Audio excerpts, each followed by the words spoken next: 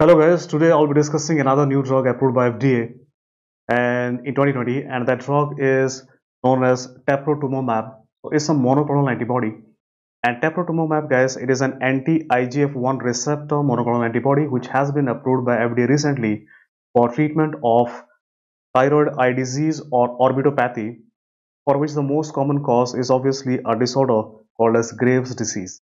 Now first of all you need to understand what happens in Graves disease guys. In Graves disease what we have is we have antibodies which are stimulators of TSH receptors but these antibodies they also stimulate IGF-1 receptor and this stimulation of IGF-1 receptor in the eyeball fibroblasts is what is responsible for thyroid eye disease. Now how does this happen? Let us see. See what happens in case of Graves disease there is an increased permeability of immune cells into the eyeballs and in these immune cells there are orbital i mean in the eyeball we have orbital fibroblast right and these immune cells they produce immunoglobulins like immunoglobulin G and this immunoglobulin what it does it binds to your IGF-1 receptors which are present in the orbital fibroblast.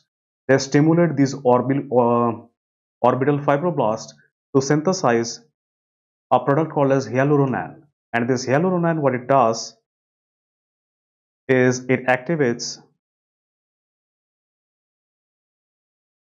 It activates mononuclear cells and these mononuclear cells what they do they will increase production of inflammatory mediators and that will increase sclerosis and fibrosis in the tissues in and around the eyeball. And that causes guys movement of the eyeball forward proptosis which is seen in orbitopathy. Plus there can be fibrosis of the eyelids so there can be lid retraction as well as that can be seen. So these are the symptoms of guys uh, thyroid orbitopathy and the reason why they are seen. Now to block this what we have done we have designed a drug called as teprotumumab. And what is teprotumumab? It is an inhibitor of IGF-1 receptor. So in the orbital fibroblasts, by blocking IGF-1 receptor, I will block production of hyaluronan and so orbitopathy would not be seen. Now if you look at this drug teprotumumab guys, the route of administration of teprotumumab it is intravenous infusion, continuous infusion and 8 infusions we have to give.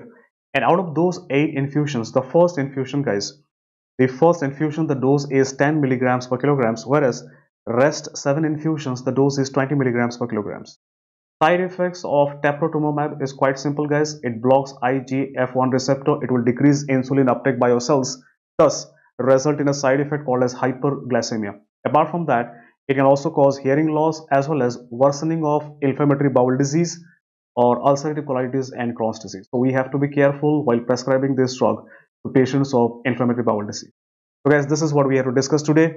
A new drug approved by FDA in 2020.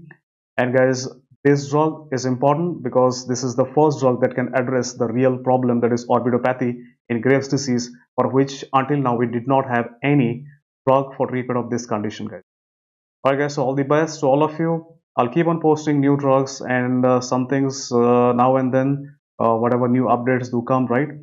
And guys do not uh, forget to subscribe to my channel by clicking on the link so that you get an update whenever i post something. All the best